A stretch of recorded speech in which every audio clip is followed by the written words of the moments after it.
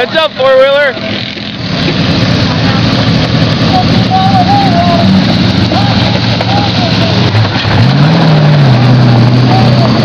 Now the only guy that came in with a flat tire.